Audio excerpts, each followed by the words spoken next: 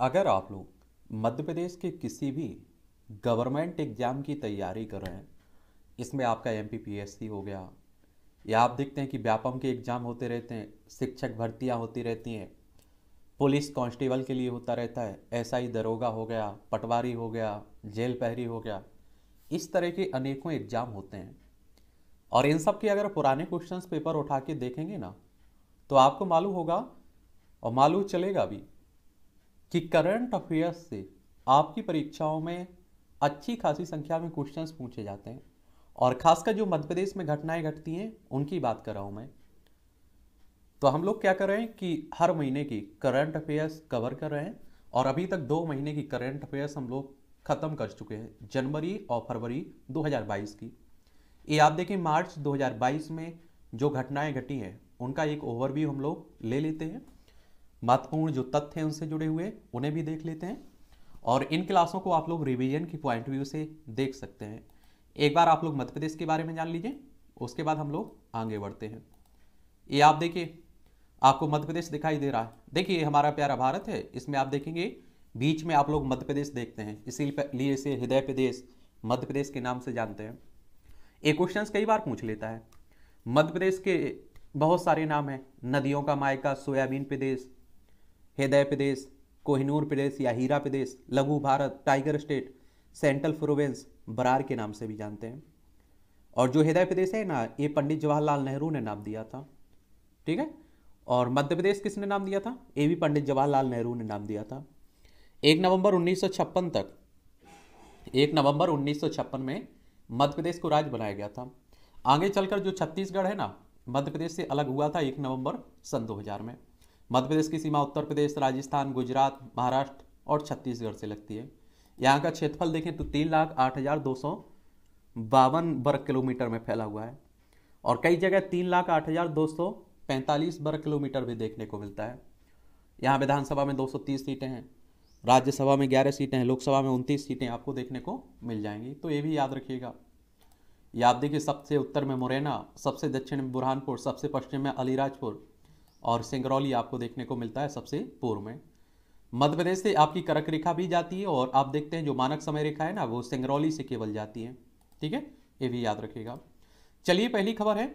एक मार्च 2022 को महाशिवरात्रि के अवसर पर मुख्यमंत्री शिवराज सिंह चौहान ने अपनी धर्मपत्नी साधना सिंह के साथ उज्जैन की छिपरा नदी के रामघाट पर पंद्रह दिए प्रज्वलित कर शिव ज्योति अर्पण कार्यक्रम की शुरुआत की है। कहाँ से? उज्जैन से। और उज्जैन में आप देखते हैं कि महाकालेश्वर का मंदिर भी है। यहाँ आप देखते हैं कि कुमर का मेला भी लगता है। शिव ज्योति कार्यक्रम में रामघाट पर द्वीप प्रज्वलन का कार्य प्रारंभ हुआ है।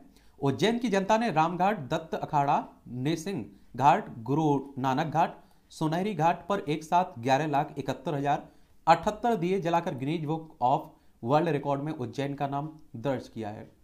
और Guinness Book of World Record की प्रतिनिधि निश्चल बारोट ने मुख्यमंत्री को इसका प्रमाण पत्र भी दिया है। और याद रहे, उज्जैन में बिगत नवंबर में अयोध्या में बनाए गए नौ लाख इकतालीस हज़ार कि द्वीप ज्वलन के रिकॉर्ड को तोड़कर Guinness Book of World Record में नया रिकॉर्ड दर्ज किया है। और आप देखेंगे कि मुख्यमंत्री ने इस अवसर पर कहा है कि उज्जैन नगर का जन्म दिवस गुड़ी पड़वा वर्ष पदा पर मनाया जाएगा। उन्होंने ना कहा है कि न केवल अवंतिका, बल्कि प्रदेश के हर गाँव, हर शहर का का अपना जन्म दिवस मना मनेगा। तो आपके गाँव का भी कोई दिवस होगा तो उसे भी मनाया जाएगा। अगली खबर है, हाल ही में भुवनेश्वर, उड़ीसा में आयोजित चौदहवीं राष्ट्रीय para fishing championship wheelchair तलवारबाजी में मध्य प्रदेश की दीपक शर्मा, अरविंद रजक और संजीव कोटिया ने कांस्य पदक जीता है। ये तीन नाम आप लोग याद रखिएगा। दीपक शर्मा, अरविंद रजक और संजीव कोटिया। गुना ज़िले के हैं दीपक शर्मा। इन्होंने इंडिविजुअल ईपी ईपी इवेंट में कांस्य पदक जीता है। दीपक शर्मा पूर्व में भी भारतीय कांस्य पदक अर्जित कर चुके हैं। साथ ही wheelchair fishing world cup में भी देश का प्रतिनिधित्व कर प्रदेश का गौरवान्वित किया है। और ईपी टीम इवेंट में दीपक शर्मा, ग्वालियर से अरविंद रजक और संजीव कोटिया ने संयुक्त कांस्य पदक भी अपने नाम किया है। इस तरह के जो पदक रहते हैं, जो पुरस्कार मिलते हैं, उनके बारे में भी एक सामान्य जानकारी रखा करिएगा, उनसे भी क्वेश्चन पूछ लेता है। अगली खबर तीन मार्च 2022 की है।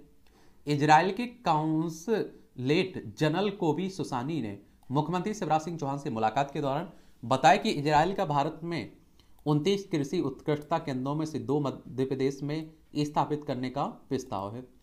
प्रस्तावित केंद्रों में एक देखें, छिदवाड़ा में संतरा उत्पादन और मुरैना में सब्ज़ी उत्पादन को बढ़ावा दिया जाएगा। छिदवाड़ा में संतरा उत्पादन, मुरैना में सब्ज़ी उत्पादन को बढ़ावा दिया जाएगा। और वर्तमान में मध्य प्रदेश में मालनपुर और मंडदीप में इजराइल की कंपनियों के कुछ प्रतिष्ठान भी काम करते हैं। मुख्यमंत्री ने कहा है कि इजराइल द्वारा प्राप्त सुझाव पर विचार कर अमल किया जाएगा और मध्य प्रदेश में औद्योगिक निवेश की संभावनाओं को भी इजरायली कंपनियों के सहयोग से बढ़ाया बढ़ावा दिया जाएगा। सिंचाई क्षेत्र में भारत और इजराइल द्वारा मध्य प्रदेश के बुंदेलखंड अंचल में जल परियोजनाओं पर कार्य किया जा रहा है और विशेष रूप से दोनों देश जल प्रबंधन के अन्य संभावित क्षेत्रों में सहयोग के लिए तत्पर हैं। इसराइल में एक पखवाड़े के विशेषण, पाठ्यक्रम में मध्य प्रदेश के कृषि और उद्यानिकी विभाग के अधिकारी लाभान्वित किए जाएँगे। और मुख्यमंत्री चौहान ने कहा है कि कैन बेदवा परियोजना के क्रियान्वयन से बुंदेलखंड क्षेत्र का कायाकल्प होगा। प्रधानमंत्री नरेंद्र मोदी के पर ड्रॉप मोर क्रॉप के सिद्धांत और इसराइल के कृषि क्षेत्र शैली से मध्य प्रदेश प्रेरित है। तो ये भी खबर याद रखिएगा। अगली खबर की तरफ़ बढ़ते हैं। तीन मार्च 2022 की है। इस दिन मुख्यमंत्री शिवराज सिंह चौहान की अध्यक्षता में हुई मंत्रिपरिषद की बैठक में नवीन और नवीकरणीय ऊर्जा मंत्रालय भारत सरकार की सौर ऊर्जा पार्क योजना में ultra mega renewable energy power parks में मोड में स्वीकृति ओंकारेश्वर फ्लोटिंग सौर पार्क 600 मेगावाट और छतरपुर सौर ऊर्जा पार्क 950 मेगावाट को विकसित किए जाने की स्वीकृति दी गई है। और इन पार्क के विकास के लिए Rewa ultra mega solar limited सौर परियोजना, सौर पार्क परियोजना विकासात्मक होगा। ओंकारेश्वर जलाशय पर प्रस्तावित 600 मेगावाट क्षमता की फ्लोटिंग सौर परियोजना वर्तमान परिदृश्य में विश्व की सबसे बड़ी फ्लोटिंग सौर परियोजना है। यह परियोजना एक बहुउद्देशीय परियोजना परियोजना के रूप में विकसित की जाएगी और जिसमें पर्यटन, कृषि और उद्योग हेतु उपयोगी भूमि संरक्षण, जल संरक्षण आदि उद्देश्यों की पूर्ति संभव होगी। सौर परियोजनाओं से उत्पादित विद्युत का क्रय Madhya Pradesh power management company limited द्वारा राज्य की सौर आरपीओ की आपूर्ति और राज्य राज्य के उपयोग के लिए किया जाएगा और शेष विद्युत क्रय अन्य सार्वजनिक संस्थाओं द्वारा राज्य में या फिर राज्य के बाहर उपयोग किए जाएँगे के लिए किया जाएगा। उपयुक्त, उपरोक्त परियोजनाएँ, प्रदेश को सस्ती पर्यावरण मित्र बिजली के साथ नवीकरणीय ऊर्जा आवंट की पूर्ति में भी सहायक सिद्ध होंगे। और प्रदेश में आप देखिए, वर्तमान में कुल 2380 मेगावाट क्षमता की सौर ऊर्जा परियोजनाएँ स्थापित हैं और लगभग 5000 मेगावाट क्षमता की परियोजनाएँ स्थापन, स्थापनाधीन है। और याद रहे, प्रधानमंत्री नरेंद्र मोदी द्वारा गिलासगो में आयोजित कॉप 26 सम्मेलन में देश के लिए वर्ष 2030 तक 500 गीगावाट 5 लाख मेगावाट की नवीकरणीय ऊर्जा परियोजनाओं की स्थापना का लक्ष्य भी रखा गया है। ठीक है? अगली खबर की तरफ़ चलते हैं। अगली खबर है, आप देखेंगे तीन मार्च 2022 की। तीन मार्च 2022 को अरवन हाट गोहर महल में आज़ादी के पचहत्तरवें अमृत महोत्सव के तहत चौदह दिवसीय हैंडलूम एक्सपो का शुभारंभ पद्मश्री भूरी बाई द्वारा किया गया है। एक्सपो 15 मार्च 2022 तक चलेगा है और संत रविदास मध्य प्रदेश हस्तशिल्प एवं हथकरघा विकास निगम लिमिटेड भोपाल द्वारा केंद्रीय वस्त्र मंत्रालय के सहयोग से इस स्पेशल हैंडलूम एक्सपो का आयोजन अरवन हाट गोहर महल में किया जा रहा है। खादी एवं ग्रामोद्योग की प्रबंध संचालक अनुभा श्रीवास्तव ने बताया कि एक्सपो में मध्य प्रदेश सहित उत्तर प्रदेश, बिहार, राजस्थान, पश्चिम बंगाल, छत्तीसगढ़, महाराष्ट्र, गुजरात के बुनकरों के गुणवत्ता युक्त एवं विविध हैंडलूम उत्पाद एक साथ एक ही छत के नीचे रियायती दरों पर उपलब्ध होंगे। अर्बन हाट गुहर महल परिसर में 35 स्थायी उपलब्ध दुकानें, दुकानों के साथ 25 अस्थायी दुकानों का अतिरिक्त निर्माण किया गया है। और इस प्रकार आप देखें 60 दुकानों में विभिन्न राज्य के बुनकर हैंडलूम वस्त्र विक्रय के लिए उपलब्ध है। और इस चौदह दिवसीय हैंडलूम एक्सपो में प्रतिदिन सांस्कृतिक कार्यक्रम भी होंगे और एक्सपो में ग्राहकों के लिए प्रवेश, व्यापार की व्यवस्था निःशुल्क फ्री में की गई है। किसमें की गई है? फ्री में की गई है। अगली खबर की तरफ़ चलते हैं। चार मार्च 2022 की है। इस दिन मुख्यमंत्री शिवराज सिंह चौहान की अध्यक्षता में प्रदेश की आर्थिक विकास की दृष्टिगत राष्ट्रीय और अंतर्राष्ट्रीय व्यापार में प्रदेश की हिस्सेदारी बढ़ाने, निर्यात को प्रोत्साहन देने और रोज़गार सृजन के संबंध में नीति निर्धारण के लिए Madhya Pradesh trade promotional, promotion council का गठन किया गया है। ट्रेड प्रमोशन काउंसिल मुख्य रूप से कार्य समिति द्वारा प्रस्तुत एजेंडा पर अनुमोदन और स्वीकृति प्रदान करेगी। यह काउंसिल राष्ट्रीय और अंतर्राष्ट्रीय व्यापार के अनुसार चयनित उत्पादों की गुणवत्ता वृद्धि और वैल्यू एडिशन के संबंध में भी नीति निर्धारण करेगी। और काउंसिल में वित्त, सूक्ष्म और लघु और मध्यम उद्योग, वन औद्योगिक नीति और निवेश प्रोत्साहन, परिवहन, पर्यटन, विज्ञान एवं प्रौद्योगिकी, उद्यानिकी एवं खाद्य प्रसंस्करण, कुटीर एवं ग्रामोद्योग, कृषि, तकनीकी, शिक्षा एवं कौशल विकास और श्रम विभाग के मंत्रीगण सदस्य होंगे। मध्य प्रदेश राज्य योजना आयोग के उपाध्यक्ष और मुख्य सचिव कृषि एवं फ़ूड प्रोसेसिंग फार्मास्यूटिकल, टेक्सटाइल एवं गारमेंट, ऑटोमोबाइल एवं इंजीनियरिंग और आईटी आदि सेक्टर की राज्य स्तरीय संस्थाओं के प्रतिनिधि एवं राज्य निर्यात आयुक्त भी काउंसिल के काउंसिल के क्या होंगे? सदस्य बनाए गए। और प्रमुख सचिव औद्योगिक नीति और निवेश प्रोत्साहन काउंसिल के सदस्य सचिव होंगे इसमें। ठीक है? आगे चलते हैं हम लोग। अगली खबर तीन मार्च 2022 की है। इस दिन राज्य शासन ने अनुसूचित जाति और जनजाति अत्याचार निवारण नियम के तहत इक्कीस अगस्त 2019 को गठित राज्य स्तरीय सतर्कता मॉनिटरिंग समिति को तत्काल प्रभाव से निरस्त कर मुख्यमंत्री शिवराज सिंह चौहान की अध्यक्षता में नई समिति का गठन किया है और अनुसूचित जनजाति सबसे ज़्यादा मध्य प्रदेश में देखने को मिलती है। मुख्यमंत्री शिवराज सिंह चौहान की अध्यक्षता में गठित की गई नई समिति में मंत्री, सांसद, विधायक और संबंधित अधिकारियों को सदस्य बनाया गया है और प्रमुख सचिव अनुसूचित जाति कल्याण को संयोजक सदस्य सचिव बनाया गया है। अनुसूचित जाति कल्याण विभाग द्वारा जारी समिति की अधिसूचना के अनुसार समिति में गृह, जेल, संसदीय कार्य, विधि और विधायी कार्य मंत्री डॉक्टर नरोत्तम मिश्रा, अनुसूचित जाति कल्याण एवं जनजातीय कार्य मंत्री मीना सिंह और तीन सांसद गजेंद्र सिंह पटेल, हिमाद्री सिंह और महेंद्र सिंह सोलंकी को सदस्य नामांकित किया गया और इसी प्रकार नौ विधायक कुंवर सिंह टेकाम सुलोचना रावत, राम दंगोरे, मनीषा सिंह, हरिशंकर खटी, रघुनाथ मालवीय, डॉक्टर योगेश पंडागे, गोपीलाल जाटव, राजेश प्रजापति और मुख्य सचिव मध्य प्रदेश शासन, अपर मुख्य सचिव, प्रमुख सचिव गृह, पुलिस महानिदेशक और निदेशक एवं निदेशक उप निरीक्षक राष्ट्रीय अनुसूचित जाति, अनुसूचित जनजाति आयोग के सब सदस्य भी इसमें नामांकित किए गए हैं। क्या किए गए हैं? नामांकित किए गए हैं। अगली खबर है आपकी, हाल ही में मध्य प्रदेश राज्य फिशिंग अकादमी की ताला, तलवारबाजी। तलवारबाज प्रज्ञा सिंह ने उज्बेकिस्तान के ताशकंद में आयोजित एशियन फिशिंग चैंपियनशिप में रजत पदक जीता है। इनका नाम क्या है? Pragya Singh. Asian fishing championship का आयोजन उज्बेकिस्तान के ताशकंद में 24 फरवरी से 3 मार्च 2022 तक किया गया है। प्रज्ञा सिंह ने यह सफलता फिशिंग की ईपी इवेंट में हासिल की है। उन्होंने फाइनल में उज्बेकिस्तान की खिलाड़ी के साथ खेलते हुए 45 36 के स्कोर पर रजत पदक हासिल किया है। याद रहे, हाल ही में प्रज्ञा सिंह सीनियर ग्राम्पी 2022 में भारतीय टीम का हिस्सा भी रही हैं। भारतीय टीम का क्या रही है? हिस्सा भी रही हैं। ये हिस्सा भी रही हैं। ये भी याद रखिएगा। अगली खबर है 6 मार्च 2022 को। मध्य प्रदेश की पर्यटन, संस्कृति और धार्मिक न्यास एवं धर्मस्थ मंत्री उषा ठाकुर ने होटल पलास रेजिडेंसी में एमपीटी सदन सदर्न स्पाइसेज का शुभारंभ किया है। और इस अवसर पर मंत्री ने कहा है कि पर्यटन निगम के इस नवाचार में से भीमबेटका, सांची और भोपाल आने वाले पर्यटकों और आमजनों को दक्षिण भारतीय व्यंजनों का ऑथेंटिक स्वाद मिलेगा। साथ ही निगम के व्यवसाय में भी वृद्धि होगी। और आप देखें कैफेटेरिया की सफलता पर इसे निगम के अन्य होटलों में भी संचालित किया जाएगा। और प्रबंध संचालक पर्यटन विकास निगम एस विश्वनाथन ने बताया कि कैफेटेरिया को दक्षिण भारतीय व्यंजनों के लिए विशेष रूप से नवीनीकृत कर दक्षिण भारत के अनुरूप थीम रखी गई है। और कैफ़े कैफेटेरिया में साउथ इंडियन व्यंजनों को विशेष रूप से तैयार करने के लिए सभी अत्याधुनिक और उपयोगी किचन उपकरण भी स्थापित किए गए हैं। और लगभग 1200 वर्ग फीट में तैयार एमपीटी सदर्न स्पाइसेज की क्षमता 40 व्यक्तियों की है। अतिथियों की संख्या में वृद्धि होने पर क्षमता में वृद्धि की जा सकेगी।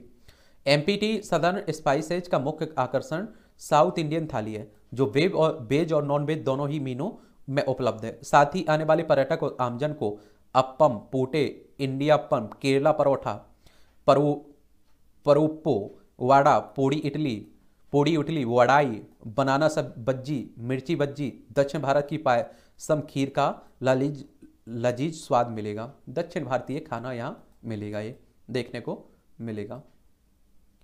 अगली खबर है आपकी।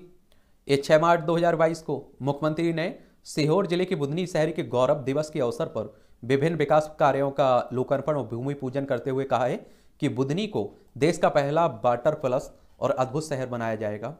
और मुख्यमंत्री ने कहा है कि इंदौर देश का पहला वाटर प्लस महानगर बन चुका है। बुधनी को भी देश के छोटे शहरों की श्रेणी में पहला वाटर प्लस शहर बनाना, बनाया जाएगा। बुधनी शहर को स्वच्छ और सुंदर बनाने के साथ यहाँ स्वास्थ्य, पर्यावरण, शिक्षा, रोज़गार के क्षेत्र में उत्कृष्ट कार्य किए जाएँगे। और इससे पहले मुख्यमंत्री ने बुधनी में चवालीस करोड़ छप्पन लाख रुपए की लागत से बने सीवरेज सिस्टम का लोकार्पण और उनसठ करोड़ रुपए के निर्माण विकास कार्यों का लोकार्पण, भूमि पूजन किया था। उन्होंने बुधनी के जर्रापुर में निजी क्षेत्र की विहान फ़ूड इंडस्ट्री का भूमि पूजन भी किया और कृषि आधारित इस उद्योग से क्षेत्र के किसानों को बेहतर दाम मिलेंगे और रोज़गार के अवसर बढ़ेंगे। फ़ूड फ़ूड इंडस्ट्री से 900 लोगों को रोज़गार मिलेगा इसमें और मुख्यमंत्री ने नगर विकास में भागीदारी बनने वाले नागरिकों, व्यवसायियों, सामाजिक संगठनों के प्रतिनिधियों को भी सम्मानित किया है और साथ ही शासन की विभिन्न परियोजनाओं में हित लाभ भी वितरित किए हैं। मुख्यमंत्री ने अगले वर्ष से बुधनी के गौरव दिवस पर तीन दिवसीय कार्यक्रम आयोजित करने, बुधनी के खिलौना व्यवसाय को राष्ट्रीय स्तर पर पहचान दिलाने और बुधनी में सीएम राइज स्कूल खोलने का घोषणा भी की है। उन्होंने कहा कि एक माह में सभी घरों के निस्तारी पानी को सीवरेज प्लांट से जोड़ा जाएगा। मुख्यमंत्री ने नागरिकों से अपील की है कि खुले में सोच सड़क पर कचरा फेंकने, पॉलीथन के उपयोग आदि को छोड़ने का संकल्प लें। और आप देखते हैं कि अब तो आपके घर के सामने हर एक गाड़ी आती है, गीला कचरा और सूखा कचरा, पूरा अलग करके ले जाती है। अगली खबर है 6 मार्च 2022 को मुख्यमंत्री शिवराज सिंह चौहान के जन्म दिवस पर MP state co operated dairy federation limited limited द्वारा प्रदेश में 1600 सांची मिल्क पार्लर पर मिलावट से मुक्ति अभियान में दूध टेस्टिंग की सुविधा का शुभारंभ किया गया है। दूध की क्वालिटी जांचने से, दूध में मिलावट की जाँच के लिए सभी सांची पार्लर्स पर टेस्टिंग किट उपलब्ध कराई गई हैं। और टेस्टिंग किट में यूरिया, डिटर्जेंट, साबुन, माल्टोज, ग्लूकोज, सुक्रोज की जाँच करने की स्ट्रिप उपलब्ध कराई गई है और जिससे उपभोक्ता तुरंत ही दूध में मिलावट की जानकारी प्राप्त कर सकेंगे। और याद रहे, मुख्यमंत्री शिवराज सिंह चौहान और स्वास्थ्य मंत्री डॉक्टर प्रभु राम चौधरी ने 11 नवंबर 2020 को राजधानी भोपाल से प्रदेश में मिलावट से मुक्ति अभियान की शुरुआत की थी। मिलावट से मुक्ति अभियान की शुरुआत भोपाल से हुई थी 11 नवंबर 2020 को।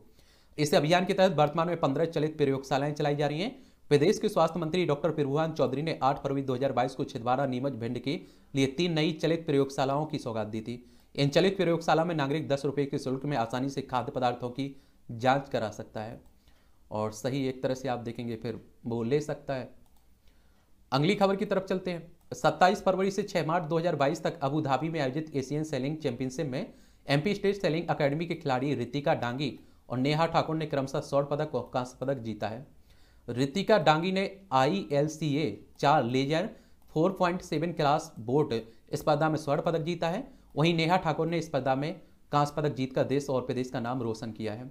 रितिका डांगी ने स्वर्ण पदक और नेहा ठाकुर ने कांस्य पदक। इसके साथ ही भारतीय नौकायन टीम ने एशियाई खेलों के लिए क्वालिफाई कर लिया है और रितिका डांगी गाँव ताजपुरा नरसिंहपुर तहसील जिला राजगढ़ की रहने वाली हैं। वहीं नेठा नेहा ठाकुर देवास ज़िले के हाट पिपलिया तहसील के अमल अमल ताज गाँव की रहने वाली हैं। एमपी स्टेट सेलिंग एकेडमी के मुख्य प्रशिक्षक अर्जुन और विश्वामित्र अवार्ड। जीएल यादव ने बताया कि रितिका और नेहा दोनों ही एशियाई खेलों में पदक की प्रबल दावेदार हैं। अब तक हुए तीन ट्रायल में से दो में दोनों खिलाड़ी पहले और दूसरे स्थान पर हैं ये दोनों। ठीक है? तो ये भी याद रखना है आप लोगों को। अगली खबर की तरफ़ चलते हैं। हाल ही में रविंद्र नाथ टैगोर विश्वविद्यालय भोपाल के प्रबंध संकाय द्वारा महिला उद्यमिता परिवर्तन शुरुआत और वैश्विक क्षमता पर वर्चुअल माध्यम से तीन दिवसीय अंतर्राष्ट्रीय ई सम्मेलन का आयोजन किया गया है। और इस तीन दिवसीय अंतर्राष्ट्रीय ई सम्मेलन में देश विदेश के प्रख्यात वक्ताओं ने अपने व्याख्यान दिए हैं। और इस सम्मेलन का आयोजन women Indian chamber of commerce and industry MP coaching council और entrepreneur development institute of India और अटल इनोवेशन सेंटर के तत्वाधान में किया गया है। और इस अंतर्राष्ट्रीय ई सम्मेलन में देश विदेश से बड़ी संख्या में शिक्षाविद, शोधकर्ता, छात्र और उद्योग जगत के पेशेवर शामिल हुए हैं। इस सम्मेलन के अंतिम दिन सबसे शोध पत्र की भी घोषणा की गई है। सम्मेलन में शामिल शोध पत्रों को आई एस बी एन पुस्तक के रूप में लाया जाएगा। तो ये भी आप लोगों को याद रखना चाहिए। अगली खबर आप देखेंगे। 8 मार्च 2022 को राज्यपाल मंगू भाई पटेल हैं मध्य प्रदेश के। इन्होंने मध्य प्रदेश पर्यटन टाइम्स ऑफ़ इंडिया और ताज ग्रुप द्वारा आयोजित टाइम्स पैसन ट्राइबल ट्रेज एवं ताज ट्राइबल फ़ूड फेस्टिवल का उद्घाटन किया है। इस अवसर पर जनजातीय कार्य एवं अनुसूचित जाति कल्याण मंत्री मीना सिंह ने कहा है कि जनजातीय समाज के शिल्प, कला और खाद्य पदार्थों की उचित विपणन व्यवस्था के प्रयास की दिशा में यह आयोजन एक सार्थक पहल है। ताज ग्रुप की जनरल मैनेजर कनिका हसरत ने बताया कि जनजातीय समाज के रहन सहन खान पान का गहन अध्ययन और शोध और प्रशिक्षण की व्यवस्था का परिणाम इस फ़ूड के फेस्टिवल का आयोजन है और इस अवसर पर लोक कलाकार पद्म विभूषण से सम्मानित छत्तीसगढ़ की पडवानी गायिका डॉक्टर तेजन बाई द्वारा अपने विशिष्ट बैग और संप्रेषण के द्वारा महाभारत के दुशासन वध के प्रसंग को प्रस्तुत किया गया है। समारोह में अनूपपुर की जिलाधिकारी सोनिया मीना ने राज्यपाल मंगू भाई पटेल को अनूपपुर फ़ूड क्लस्टर एवं टूरिज़्म पुस्तक की प्रथम प्रति भी भेंट की है। अगली खबर आप देखेंगे। ये आठ मार्च की खबर है। क्या है आठ मार्च की?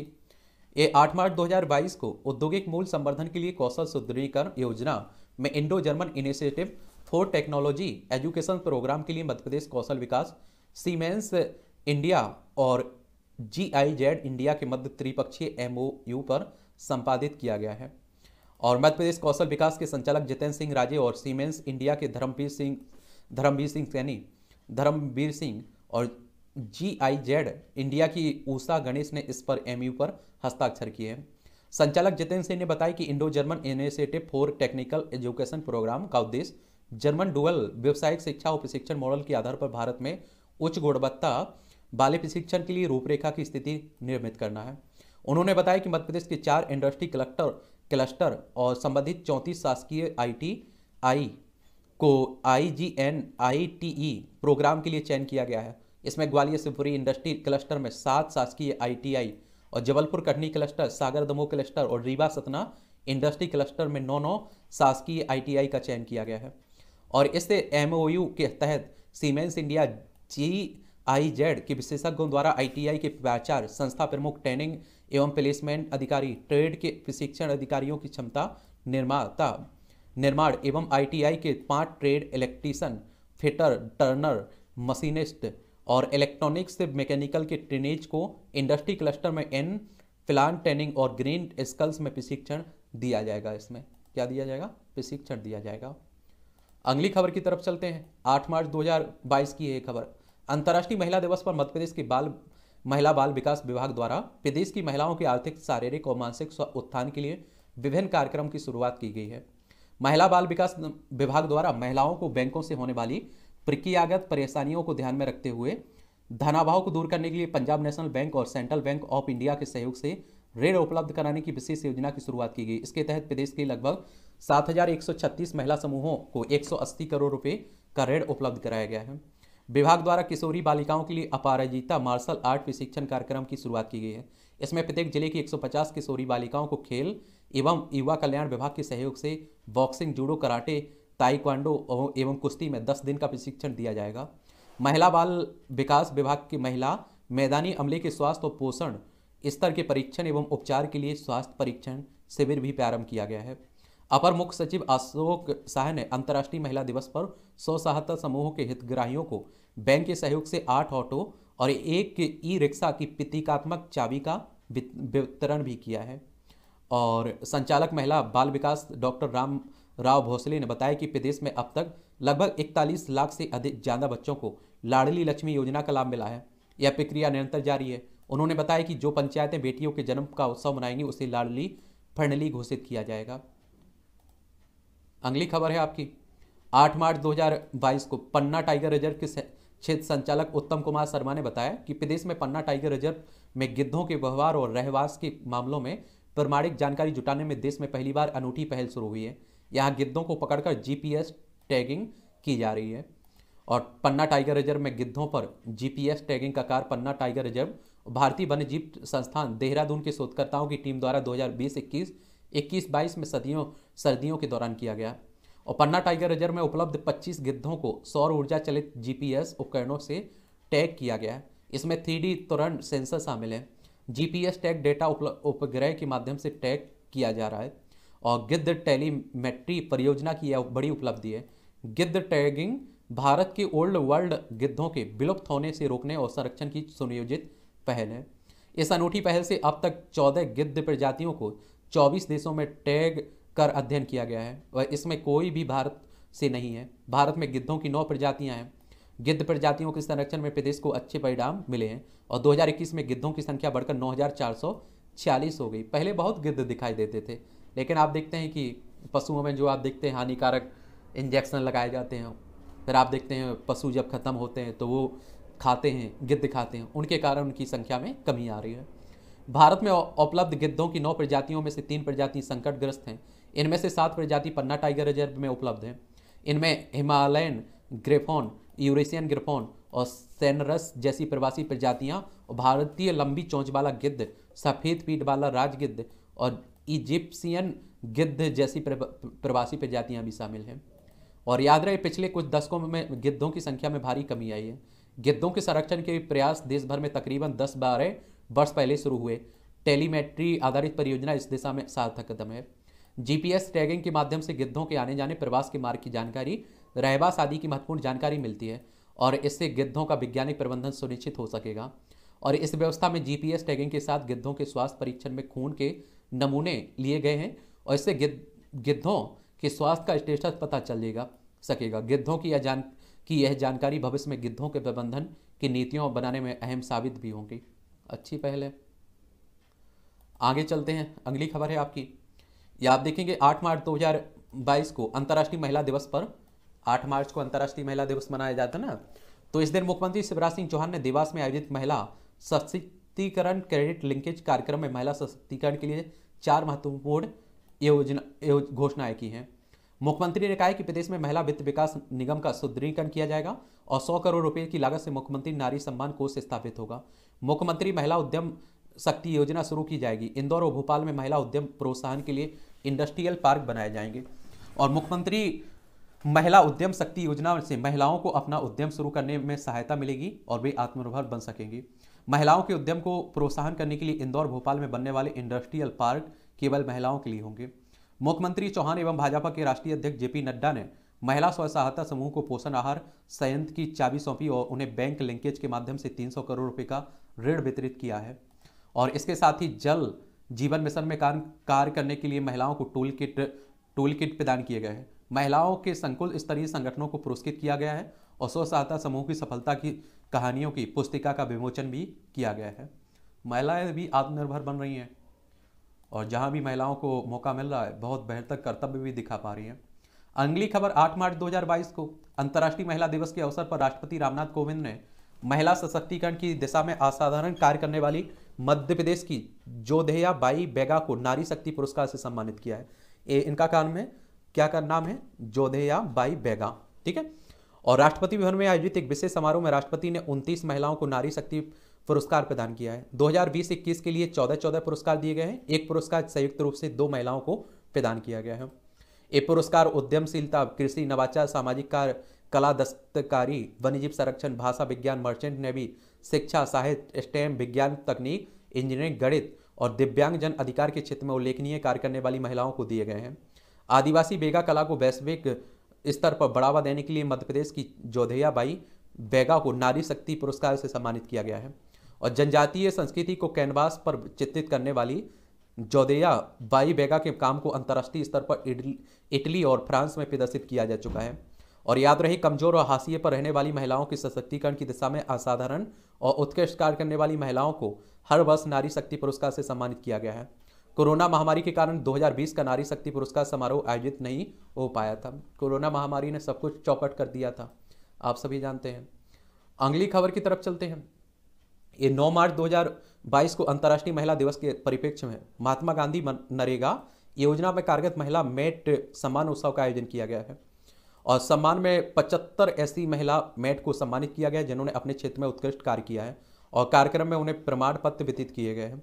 और इस कार्यक्रम का आयोजन प्रदान प्रदान संस्था के सहयोग से किया गया है। इस अवसर पर मनरेगा मनरेगा आयुक्त सूफिया के फारूकी बली ने कहा है कि मनरेगा योजना की शुरुआत में मात्र पुरुषों को ही मैट के रूप में रोज़गार दिया गया, किंतु अब महिलाओं को भी मैट के रूप में कार्य दिया जा रहा है।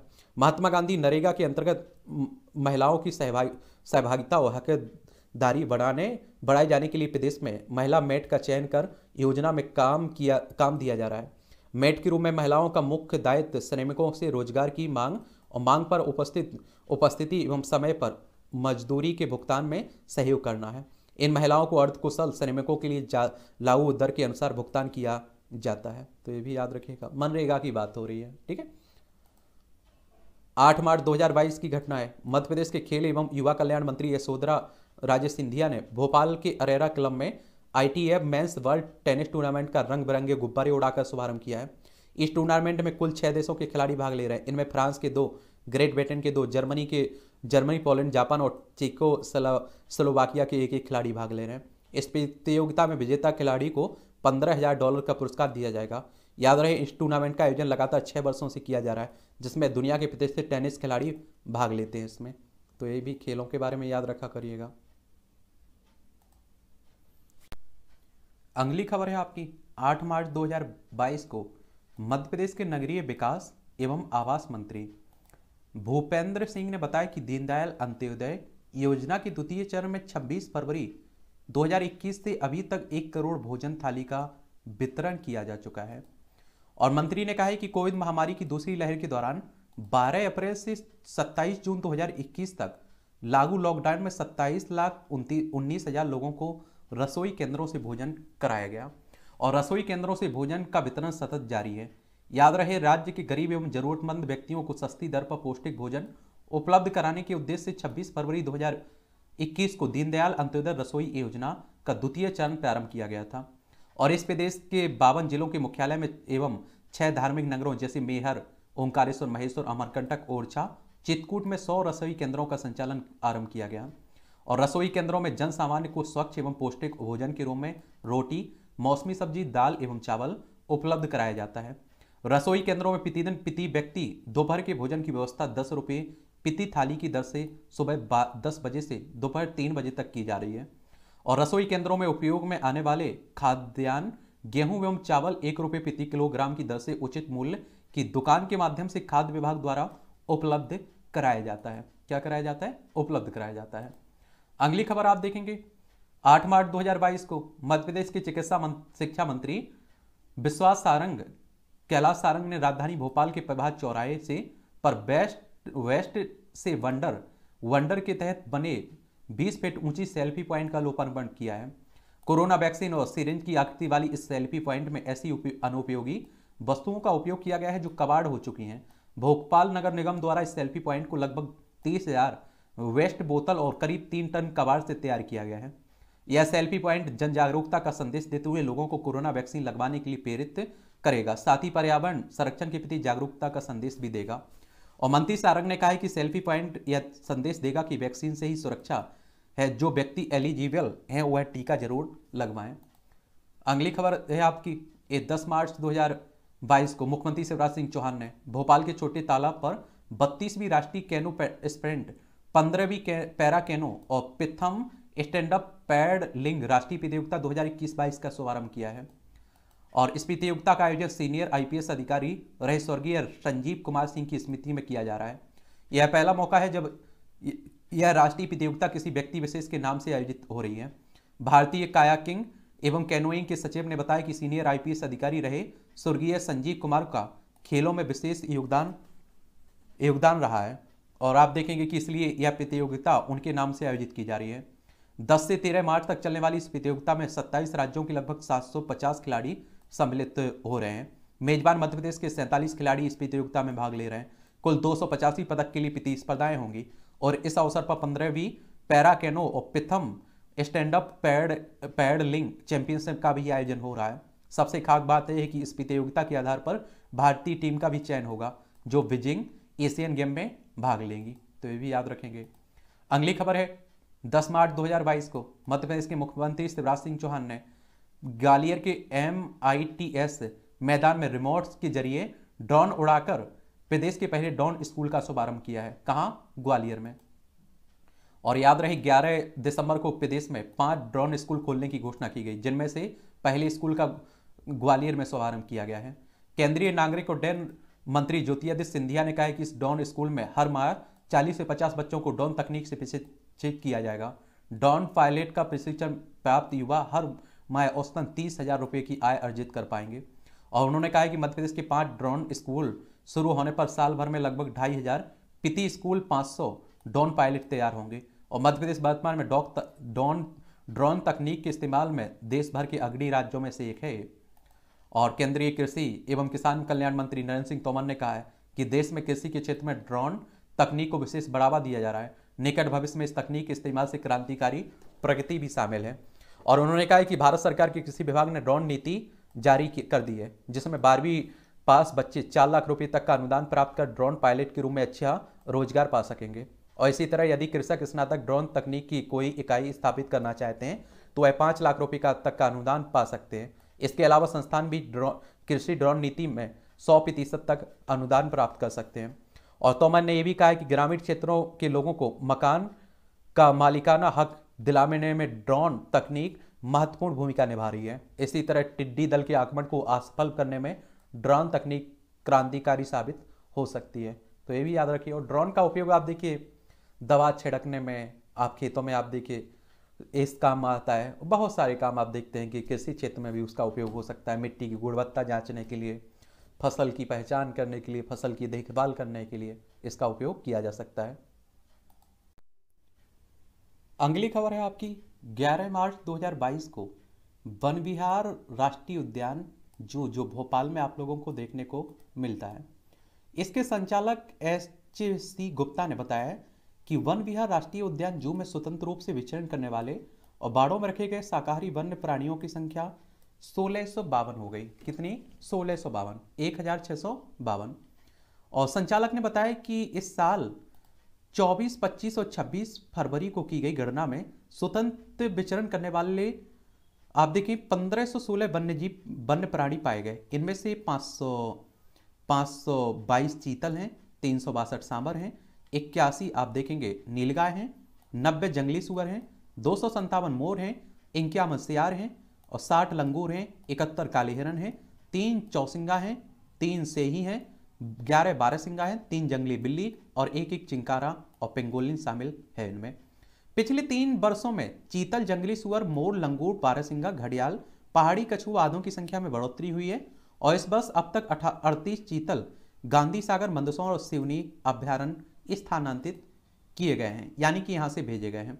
उद्यान में तीन सिंह, बारह बाघ, एक सफ़ेद बाघ, दस तेंदुआ, बीस भालू, एक हायना, तेरह मगर और दो गौर, वायसन और अट्ठाईस पहाड़ी कछुए और तैंतीस जलीय कछुआ, और आप देखेंगे छः घड़ियाल पाए जा पाए गए हैं, और छः वन्य प्राणी को क्वारंटाइन सेंटर में गए हैं। इनमें एक तेंदुआ और पाँच अपीकन कछुआ शामिल हैं इसमें। तो कभी जाया करिए, भोपाल तो देख के आया करिएगा वन विहार राष्ट्रीय उद्यान को। अगली खबर 11 मार्च 2022 को। लोकसभा के अध्यक्ष ओम बिरला ने राष्ट्रीय युवा संसद महोत्सव के तीसरे संस्कृत के समापो, समापन समारोह में संस्करण के विजेताओं को पुरस्कार प्रदान किए। इनमें भोपाल की बागेश रागेश्वरी अंजना को प्रथम स्थान मिला है। और लोकसभा अध्यक्ष की बात करें तो आप देखते हैं कि लोकसभा में वर्तमान में पाँच सौ तैंतालीस टोटल सीटें हैं। ये सब आप लोग राज्य व्यवस्था में पढ़ते होंगे।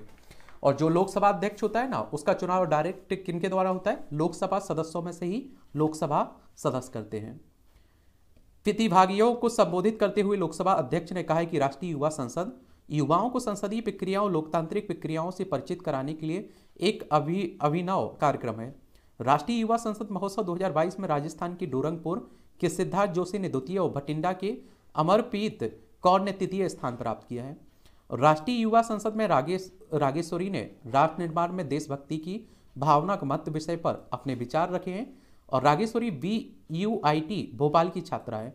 वे एन एस एस कैडेट के कोर की सदस्य भी है। एन वाई पी एफ़ का आयोजन उन युवाओं के विचार जानने के लिए किया जाता है, जो आने वाले वर्षों में सार्वजनिक सेवाओं सहित विभिन्न कैरियर में शामिल होंगे। और एन वाई पी एफ़ का पहला संस्करण बारह जनवरी से सत्ताईस फरवरी 2019 तक और दूसरा संस्करण 23 दिसंबर 2020 से 12 जनवरी 2022 तक आयोजित किया गया है। एन का तीसरा संस्करण 14 फरवरी 2022 को जिला स्तर पर वर्चुअल माध्यम से शुरू किया गया। 23 से 27 फरवरी 2022 तक देश भर के दो दशमलव चवालीस लाख से अधिक युवाओं ने जिला युवा सांसदों के बाद राज्य युवा संसदों में वर्चुअल माध्यम से भाग लिया है। और शीर्ष तीन राष्ट्रीय विजेताओं को प्रमाण पत्र और पुरस्कार क्रमशः आप देखेंगे, दो लाख, एक लाख पचास हज़ार रुपये और एक लाख रुपये प्रदान किए गए दो प्रतिभागियों को पचास हज़ार रुपये का संतावना पुरस्कार भी दिया गया है इसमें। क्या दिया गया पुरस्कार दिया गया है। अगली खबर की तरफ़ बढ़ते हैं हम लोग। अगली खबर 13 मार्च 2022 को राज्य शासन ने Hindi feature film the Kashmir file के कथानक और अन्य विशेष सामान उपयोगी गुणों के दृष्टिगत इसे मध्य प्रदेश में प्रदर्शन के लिए राज्य माल और सेवा कर से छूट प्रदान की है। टैक्स से। वाणिज्य कर विभाग द्वारा जारी आदेश में यह छूट 14 मार्च से 13 सितंबर तक के लिए दी गई है। और दर्शकों के लिए छूट सिंगल स्क्रीन थिएटर्स और मल्टीप्लेक्स सहित सभी जगह फ़िल्म प्रदर्शन पर लागू हो रहेगी। और याद रहे 11 मार्च को रिलीज़ हुई इस फ़िल्म को हरियाणा ने पहले ही टैक्स फ्री कर दिया था। और मध्य प्रदेश के साथ ही गुजरात ने भी इस फ़िल्म को टैक्स फ्री कर दिया है। और केंद्रीय फ़िल्म प्रमाणन बोर्ड के सदस्य रहे विवेक रंजन अग्निहोत्री द्वारा निर्देशित फ़िल्म पर दी गई छूट की में प्रतिपूर्ति का लाभ लेने के लिए संबंधित सिनेमाघरों मल्टीप्लेक्स द्वारा राजमाल सेवा कर की राशि को घटाकर दर्शकों को इस फ़िल्म के टिकट का विक्रय किया जाएगा।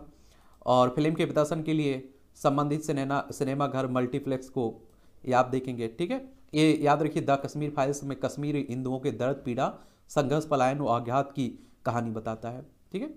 और यहाँ फ़िल्म के निर्देशक विवेक रंजन, अग्निहोत्री, मूलता मध्य प्रदेश के निवासी हैं। वो अनेक वर्ष तक भोपाल में भी रहे हैं तो ये भी याद रखिएगा। इसमें प्रख्यात अभिनेता अनुपम खेर भी देखने को मिलेंगे इस मूवी में। आपको। अगली खबर है, तेरह मार्च 2022 को मुख्यमंत्री शिवराज सिंह चौहान ने वीडियो कॉन्फ्रेंसिंग के माध्यम से इंदौर, गोंदिया, हैदराबाद फ़्लाइट का शुभारंभ किया है। यह फ़्लाइट, फ्लाई बिग एयरलाइंस द्वारा शुरू की गई है।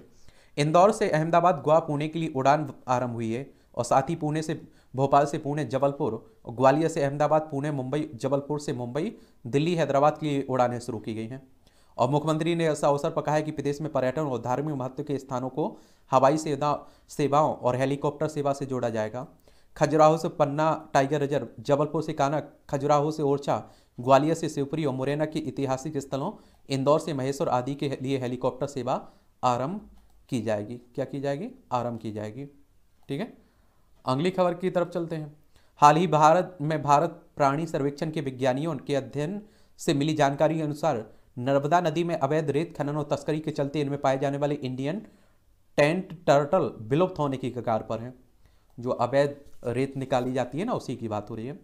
भारतीय प्राणी सर्वेक्षण के विज्ञानियों ने बताया कि नर्मदा तवा नदी के संगम बांद्रा भान के साथ हरदा और खंडवा के आसपास के बहाव क्षेत्र में ये टल्सल पूरी तरह से गायब हो चुके हैं। और प्राकृतिक स्वच्छता कर्मी कहलाने वाले ये कछुए, काई और सेबाल आदि खाकर जीवित रहते हैं और तथा पानी में ऑक्सीजन की मात्रा बढ़ाते हैं। कछुओं पर शोध कर रहे भारतीय प्राणी सर्वेक्षण के विज्ञानी पित्यूष महापात्रा ने बताया कि पाँच साल पहले जबलपुर से नर्मदापुरम और हरदा खंडवा के पास नर्मदा के किनारे पर कछुए पाए गए थे, जो इस वर्ष जनवरी में दिखाई नहीं दिए और पर्यावरणविद सुभाष जी पांडे ने बताया कि मादा कछुआ रेत में अपने रहवास में अंडे देकर चल, चली जाती है, जो गर्मी में सेज जाते हैं और रेत में, रेत के अवैध खनन में से इनके प्रजनन में व्यवधान भी हो रहा है। उन्होंने बताया कि नर्मदा में टेंट, पेगा पेंगा, सुरुआ टेंटो, टेंटोरिया या इंडियन टेंट टर्टल पाए जाते हैं। यह कछुओं की भारत और बांग्लादेश में पाई जाने वाली प्रजाति है। इसके ऊपर मराते खतरे को देखते हुए इन्हें शेड्यूल वन में भी रखा गया है। तो हम लोग भी नुकसान पहुँचा रहे हैं। देख लीजिए। अगली खबर है आपकी। चौदह मार्च 2022 को मध्य प्रदेश शासन द्वारा मातृ मृत्यु दर नवजात शिशु शिशु मृत्यु दर शिशु मृत्यु दर और कुपोषण को कम करने के उद्देश्य से पूर्व में गठित टास्क टास्क फोर्स के स्थान पर नई टास्क फोर्स गठित की गई है। और अर्थशास्त्री प्रधानमंत्री के आर्थिक सलाहकार परिषद के पूर्व सदस्य प्रोफेसर समिका रवि नवगठित टास्क फोर्स के अध्यक्ष होंगी और जबकि अपर मुख्य सचिव लोक स्वास्थ्य एवं परिवार कल्याण टास्क फोर्स के सचिव होंगे। और टास्क फोर्स में अपर मुख्य सचिव महिला एवं बाल विकास मिशन संचालक राष्ट्रीय स्वास्थ्य mission pro, professor head community nutrition intermediate fellow DVT Wellcome trust India alliance Indian I IIPH Delhi, और डॉक्टर रमेश अग्रवाल एम्स, नई दिल्ली को सदस्य बनाया गया है। अटल बिहारी वाजपेयी सुशासन एवं नीति विश्लेषण संस्थान के अतिरिक्त मुख्य कार्यपालक अधिकारी लोकेश शर्मा को सदस्य सचिव नियुक्त किया गया है, और टास्क फोर्स मध्य प्रदेश राज्य नीति आयोग योजना आयोग के साथ समन्वय कर कार्य करेगी, और टास्क फोर्स की बैठक माह में एक बार अथवा आवश्यकता अनुसार आयोजित की जाएगी। और टास्क फोर्स मातृ नवजात शिशु मृत्यु दर और कुपोषण में कमी लाने के लिए प्रस्तावित हस्तक्षेप तथा संभावित प्रभाव की रिपोर्ट राज्य शासन को 30 जून 2022 तक प्रस्तुत करेगी। और टास्क फोर्स की आवश्यक को आवश्यक सहयोग प्रदान करने के लिए अटल बिहारी वाजपेयी सुशासन एवं नीति विश्लेषण संस्थान तकनीकी सचिवालय के रूप में काम करेगा, एक कार्य करेगा। ठीक है? तो ये भी याद रखना चाहिए।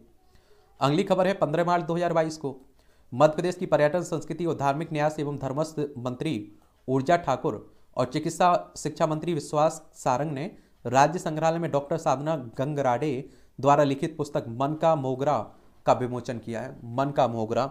ये किसकी है? साधना गंगराडे की है। यह पुस्तक पारस्परिक रिश्तों, पर्वों परंपराओं, संस्कारों, जीवन मूल्यों और सामाजिक ताने बाने पर आधारित ललित निबंधों का संकलन है। मंत्री विश्वास सारंग ने कहा है कि मन का मोगरा पुस्तक सामाजिक ताने बाने को सहेजती है। यह पुस्तक यह संयुक्त परिवार के मूल्यों और आदर्श को समाज के सामने लाती है। यह भावी पीढ़ी के लिए प्रेरणा स्रोत है। पुस्तिका की लेखिका स्वयं सत्ताईस सदस्यों के संयुक्त परिवार में रहती हैं। उनके द्वारा लिखी गई यह पुस्तक नारी के विभिन्न रूपों को आदर्श रूप में समाज के सामने लाती है। ये भी देखने को मिलेगा। अगली खबर की तरफ़ चलते हैं हम लोग। अगली खबर है, हाल ही में केंद्रीय पर्यावरण, वन और जलवायु परिवर्तन मंत्रालय, केंद्रीय जल शक्ति मंत्रालय द्वारा संयुक्त रूप से वनिकी संबंधी पहलों के माध्यम से तेरह प्रमुख नदियों के कायाकल्प पर जारी विस्तृत परियोजना रिपोर्ट में मध्य प्रदेश की जीवन दायनी नदी नर्मदा को शामिल किया गया। किसे? नर्मदा को। और विस्तृत परियोजना रिपोर्ट में तेरह प्रमुख नदियाँ, जिसमें झेलम चेनाव रावी, ब्यास, सतलुज, यमुना, ब्रह्मपुत्र, लूनी, नर्मदा, गोदावरी, महानदी, कृष्णा, कावेरी नदी शामिल है। तेरह नदियाँ शामिल हैं। परियोजना के अंतर्गत 202 सहायक नदियाँ और सहित तेरह नदियों की लंबाई बयालीस किलोमीटर है। और ये तेरह नदियाँ सामूहिक रूप से अठारह लाख नब्बे हज़ार एक सौ दस वर्ग किलोमीटर के कुल विचन क्षेत्र को आच्छादित करती हैं, जो देश के भौगोलिक क्षेत्र का संतावन दशमलव कितना? पैंतालीस प्रतिशत है। और विस्तृत परियोजना रिपोर्ट में 2015-16 में राष्ट्रीय स्वच्छ गंगा मिशन के हिस्से के रूप में किए गए कार्यों की तर्ज पर यह स्वीकार करते हुए तैयार किया गया कि बढ़ता जल संकट नदी के पारिस्थितिक तंत्र के क्षरण का कारण है। और आप देखेंगे नर्मदा नदी, जिसे रेवा के नाम से भी जानते हैं आप लोग। उत्तर दक्षिण भारत के बीच एक पारस्परिक सीमा की तरह कार्य करती। है यह अपने उद्गम मैकल पर्वत के अमरकंटक शिखर से पश्चिम की ओर 1312 किलोमीटर बहते हुए खंबात की खाड़ी अरब सागर में मिलती है। यह परियोजना रिपोर्ट एक बहुउद्देशीय बहुस्तरीय, बहुहितधारक बहु विषय को समग्र विश्लेषण पर दृष्टिकोण पर आधारित है, ताकि आविरल धारा, निर्मल धारा, पारिस्थितिक, कायाकल्प के व्यापक उद्देश्यों को पूरा किया जा सके। डीपीआर तीन प्रकार की परिदेशों में बानी की हस्तक्षेप और आद्य भूमि प्रबंधन के लिए एक समग्र रिवर स्केप दृष्टिकोण अपनाने की क्षमता की पहचान करता है। और बनकी के ज़रिए आप देखिए तेरह नदियों के संरक्षण के तहत नदियों के दोनों किनारों पर सघन पौधारोपण किया जाएगा और इससे वन क्षेत्र में सात हज़ार चार सौ सत्रह दशमलव छत्तीस वर्ग किलोमीटर क्षेत्रफल की वृद्धि होने की उम्मीद भी है। और प्रस्तावित हस्तक्षेप से 10 साल पुराने वृक्षारोपण से पचपन दशमलव इक्कीस मिलियन टन कार्बन डाइऑक्साइड और बीस साल पुराने वृक्षारोपण से चौहत्तर दशमलव छिहत्तर मिलियन टन कार्बन डाइऑक्साइड कम करने में मदद मिलेगी। और तेरह नदियों के परिदृश्य में प्रस्तावित हस्तक्षेप से प्रति वर्ष अठारह सौ नवासी दशमलव नवासी मिलियन घन मीटर ग्राउंड वाटर रिचार्ज होगा और तल छठ के जमा होने में प्रति वर्ष चौंसठ लाख तिरासी हज़ार एक सौ चौदह घन मीटर की कमी भी आएगी। ये भी देखने को मिलेगा। अगली खबर आप देखेंगे।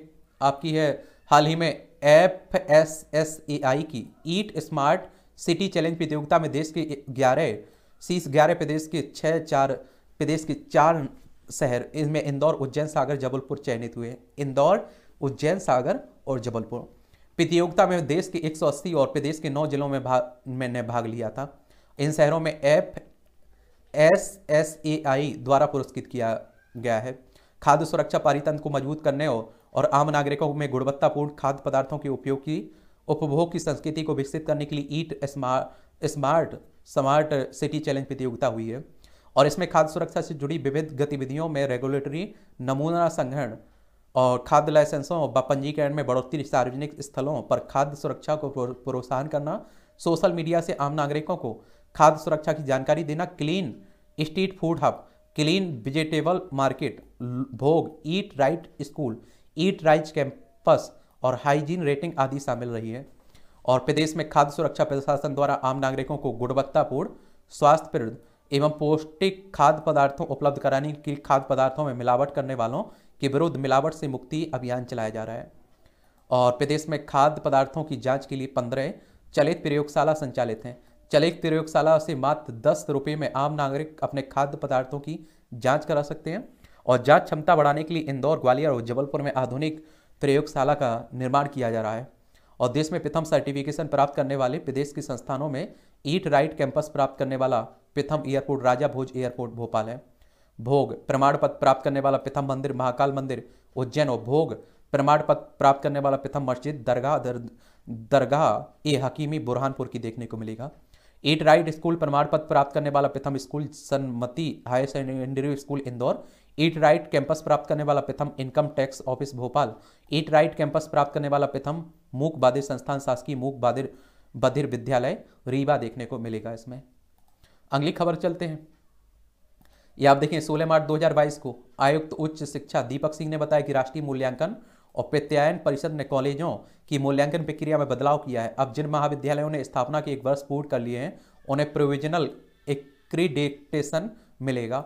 और दीपक सिंह ने बताया कि यह बात सरोजिनी नायडू, शासकीय कन्या स्नातकोत्तर महाविद्यालय में प्रोविजनल एक्रीडेटेशन प्रशिक्षण पर एक दिवसीय कार्यशाला कार्यशाला को संबोधित करते हुए कही है। उन्होंने कहा किसी भी शैक्षणिक संस्थान के ओवरऑल परफॉर्मेंस के मूल्यांकन के बाद नैक एक्रीडेटेशन मिलता है। नए स्थापित कॉलेजों के लिए पैक एक अच्छी पहल है। उन्होंने प्रशिक्षण में आए भोपाल एवं सागर संभाग के महाविद्यालयों के प्रचार और प्राध्यापकों को अपने अपने महाविद्यालयों को नैक मूल्यांकन के लिए तैयार करने का निर्देश भी दिया है। और प्रशिक्षण में 50 महाविद्यालयों के 110 प्राचार्यों और प्राध्यापक शामिल हुए हैं। याद रहे, प्रोविजनल एक्रीडेटेशन का प्रशिक्षण भोपाल उज्जैन, जबलपुर, ग्वालियर में दिया जा रहा है। भोपाल, उज्जैन, जबलपुर और ग्वालियर, ठीक है? तो ये भी याद रखना चाहिए। अगली खबर है आपकी। ए 18 मार्च 2022 को आयुष्मान भारत निरामय सोसाइटी के सीईओ अनुराग चौधरी ने बताया कि मध्य प्रदेश में बिल्डिंग, सड़क, ब्रिज, तालाब जैसी साइट्स पर निर्माण कार्यों में लगे मजदूर को एक अप्रैल से कैशलेस इलाज की सुविधा प्रदान की जाएगी। और याद रहे, बिल्डिंग, सड़क, ब्रिज जैसे जगहों पर निर्माण करने वाले बारह लाख पचास हज़ार मजदूरों को राज्य शासन की आयुष्मान भारत निरामय मय सोसाइटी और कर्मकार मंडल द्वारा अनुबंध के तहत आयुष्मान योजना से जोड़ा जा रहा है। अनुबंध के तहत कर्मकार मंडल में दर्ज श्रमिक परिवारों को कार्ड बनाकर फ्री इलाज की सुविधा दी जाएगी। इसके तहत प्रदेश के साढ़े बारह लाख श्रमिक परिवार को हर साल पाँच लाख रुपए तक के निःशुल्क इलाज की सुविधा मिलेगी। और प्रदेश के आप देखेंगे कि नब्बे फ़ीसदी असंगठित क्षेत्र के श्रमिक हैं। इन श्रमिकों को आयुष्मान योजना से फ्री इलाज की सुविधा मिल सकेगी। मजदूर कई बार निर्माण कार्यों के दौरान होने वाले हादसों में घायल हो जाते हैं और आर्थिक तंगी के चलते समय पर इलाज नहीं करा पाते हैं, लेकिन आयुष्मान योजना से भी इलाज कर सके, करा सकेंगे। कर्मकार मंडल में पंजीकृत मजदूरों सहित असंगठित क्षेत्रों के श्रमिकों को कार्ड बनाकर दिए जाएँगे। इसके लिए कंस्ट्रक्शन साइट पर कैंप लगाए जाएँगे। वहीं कर्मकार मंडल के कार्ड कार्डधारी मजदूर, श्रमिक card, Aadhaar card, Samagra ID के ज़रिए क्यू सेंटर से भी कार्ड बनवा सकेंगे। आयुष्मान योजना के तहत इलाज कराने वाले श्रमिकों के इलाज का खर्च कर्मकार कर्मकार मंडल द्वारा बहन किया जाएगा। इसके लिए प्रति मजदूर करीब दस सौ बावन रुपये की राशि सालाना प्रीमियम के तौर पर निरा मैम सोसाइटी के कर, में कर्मकार मंडल द्वारा जमा की जाएगी। तो इस खबर को भी याद रखना रखिएगा।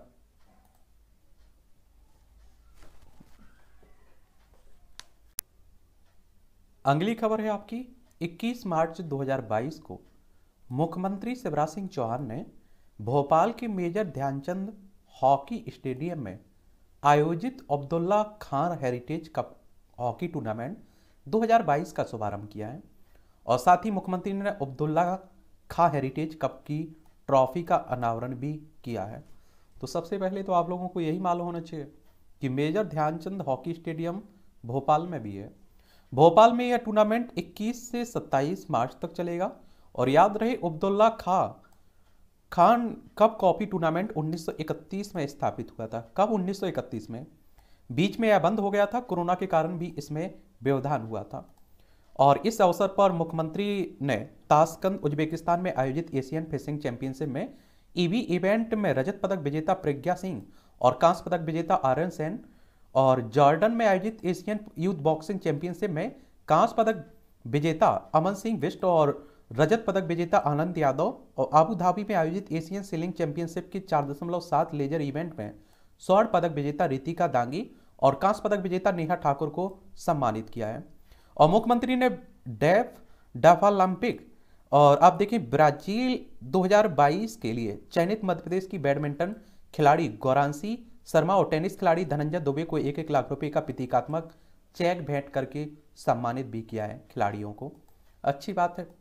अगली खबर है 21 मार्च 2022 को ट्राईफेड के अध्यक्ष राम सिंह रा, राठवा ने भोपाल के भोपाल हाट में जैविक जनजातीय उत्पादों और दस्तकारी के सामानों की जीवित जीवंत प्रदर्शनी आदि बाज़ार का वर्चुअल माध्यम से उद्घाटन किया है।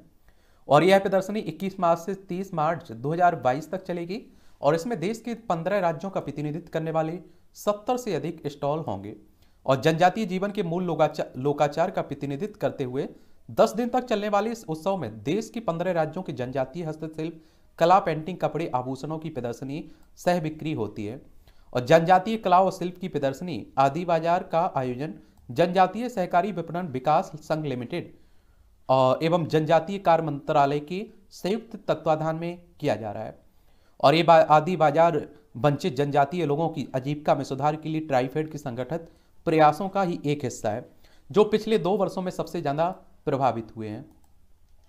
और आदि बाज़ार में ट्राइब्स इंडिया और जनजातीय कारीगरों द्वारा प्रस्तुत किए जाने वाले उत्पाद जैसे जैसे मध्य प्रदेश की प्रसिद्ध महेश्वर साड़ियाँ, लद्दाख और हिमाचल प्रदेश के गर्म ऊनी कपड़े, तमिलनाडु के जनजातीय लोगों द्वारा खरीदी गई प्रतिरोधक क्षमता को बढ़ाने वाली विभिन्न जड़ी बूटियाँ और मसाले उत्तर पूर्वी भारत के विशेष शहद और जैविक उत्पाद, प्रतिष्ठित टोड़ा कढ़ाई से लेकर असम के मोगा रेशम और नागालैंड की काली मिट्टी के बर्तन तक उपलब्ध होंगे इसमें।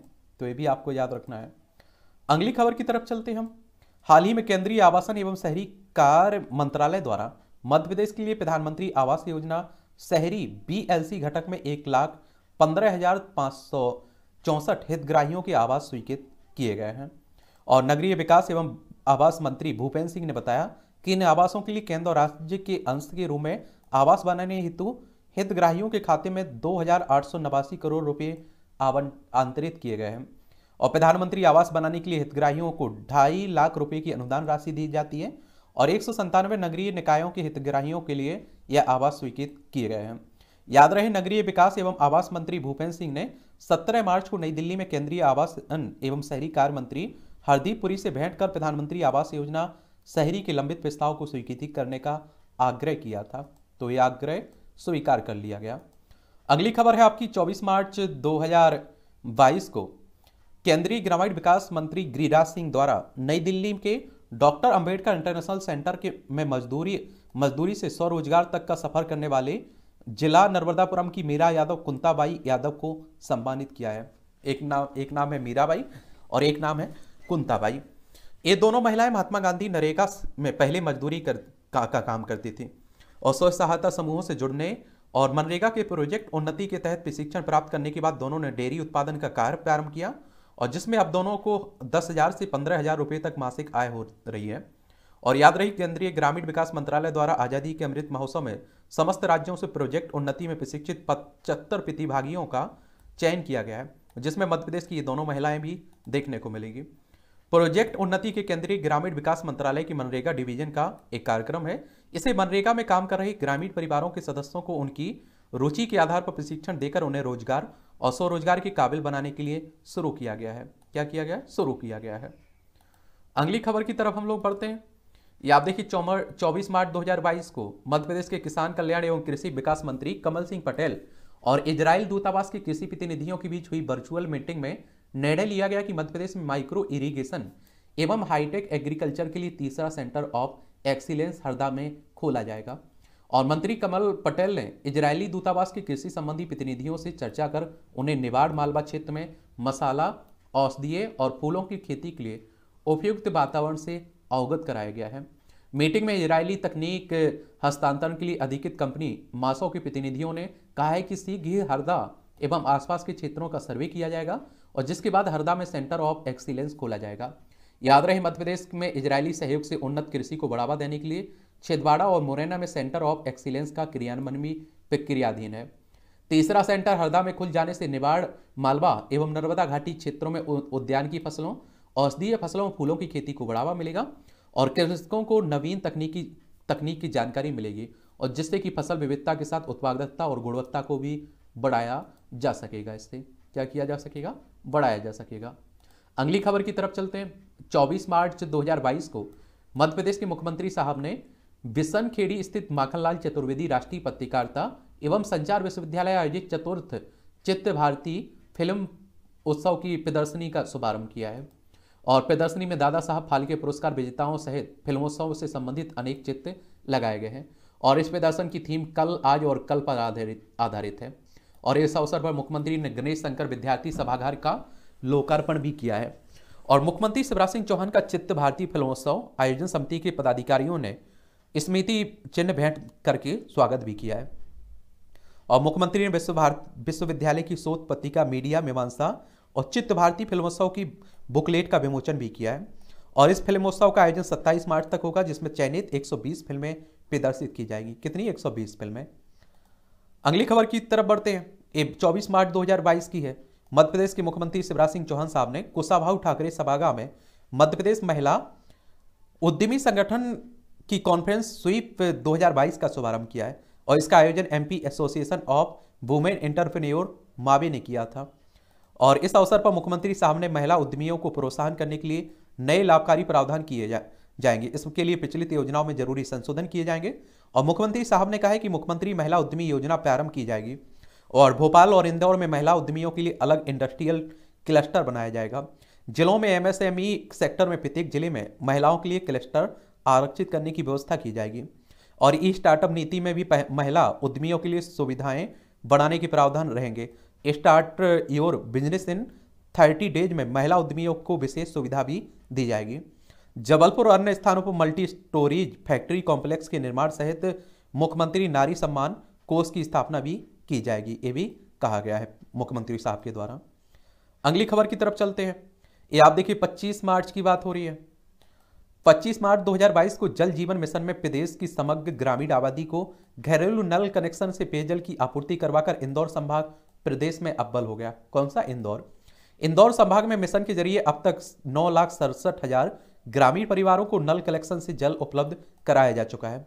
मिशन में इंदौर इंदौर ज़िले की तीन सौ सत्तासी, धार ज़िले की चार सौ झाबुआ ज़िले की चार सौ पच्चीस, बड़वानी ज़िले की दो सौ पैंसठ और अलीराजपुर ज़िले की 114, खरगोन ज़िले की 380, खंडवा ज़िले की 313, बुरहानपुर ज़िले की तेरासी जल संरचनाएँ शामिल हैं। लोक स्वास्थ्य यांत्रिकी विभाग द्वारा इंदौर सभा के आठों जिलों में अब तक दो करोड़ उनहत्तर लाख बत्तीस हज़ार रुपये लागत की दो हज़ार तीन सौ उन्यासी जल प्रदाय योजनाओं को स्वीकृति दी चुकी जा चुकी है। और विभाग द्वारा मिशन के मापदंडों के अनुसार इन जिलों के लिए नवीन और रेट्रोफिटिंग के रूप में स्वीकृति सभी स्वीकृत सभी जल प्रदाय योजनाओं के लिए कार्य सतत रूप से जारी है। ये भी आप देखेंगे। अगली खबर की तरफ़ हम लोग बढ़ेंगे। तो 25 मार्च 2022 की खबर है। राज्य शासन ने प्रदेश में अटल नवीकरण और शहरी परिवर्तन मिशन योजना के संचालन के लिए मुख्य सचिव की अध्यक्षता में राज्य स्तरीय उच्च शक्ति प्राप्त संचालन समिति का गठन किया है और समिति में प्रमुख सचिव वित्त, नगरीय विकास और आवास, वन एवं पर्यावरण, लोक स्वास्थ्य यांत्रिकी, पर्यावरण पंचायत एवं ग्रामीण विकास, भारत सरकार शहरी विकास मंत्रालय ने मनोनीत प्रतिनिधि सदस्य होंगे। और समिति में आयुक्त सह सचिव, नगरीय प्रशासन, विकास सदस्य सचिव एवं मिशन संचालक होंगे। राज्य स्तरीय उच्च शक्ति प्राप्त संचालन समिति मिशन के समग्र क्रियान्वयन के लिए उत्तरदायी होगी। और समिति city water balance plan, city water action plan के आधार पर स्टेट वाटर एक्शन प्लान को मंजूरी देने और विस्तृत परियोजना रिपोर्ट की प्रशासनिक अनुमोदन करेगी इसमें। ये भी आपको देखने को मिलेगी। अगली खबर की तरफ़ चलते हैं। ये 26 मार्च 2022 की है। मध्य प्रदेश के मुख्यमंत्री साहब ने कहा है कि प्रदेश के विभिन्न शहरों में गोवर्धन प्रोजेक्ट शुरू किया जाएगा। गोवर्धन प्रोजेक्ट शुरू किया जाएगा। और मुख्यमंत्री ने कहा है कि गाय के गोबर को क्रय करने की व्यवस्था की जाएगी, यानी खरीदने की। गाय के गोबर का बड़े पैमाने पर गो कास्ट के निर्माण में किया जाएगा और इसे प्रोत्साहित किया जाएगा, जिससे गौपालकों को भी राशि प्राप्त हो। गुजरात सहित अन्य राज्यों में गौ संवर्धन और गौ संरक्षण के प्रयोगों का अध्ययन कर मध्य प्रदेश में नवीन कार्यों की शुरुआत की जाएगी और गौशालाओं को स्वावलंबी बनाने के लिए ठोस प्रयास भी किए जाएँगे। आमजन को गाय और सड़क पर विचरण करने वाले अन्य पशुओं की देखभाल के प्रति जागरूक करने का काम भी किया जाएगा। गाय के गोबर गौमूत्र से आय होने पर आम नागरिकों को गौपालन के लिए प्रेरित होगा। और मुख्यमंत्री चौहान ने कहा कि इंदौर में गोवर्धन योजना में पीएनजी संयंत्र के संचालन के सफल प्रयोग को अन्य स्थानों तक ले जाया जाएगा, ये भी कहा गया है। अगली खबर आप देखेंगे। ये बात है कहाँ की? तेईस छब्बीस मार्च 2022 की। भोपाल के मेघनैनी एम्पोरियम जीटीपी जीटीपी कॉम्प्लेक्स में महेश्वर उत्सव का शुभारंभ किया गया है। यह उत्सव 22 अप्रैल तक चलता है।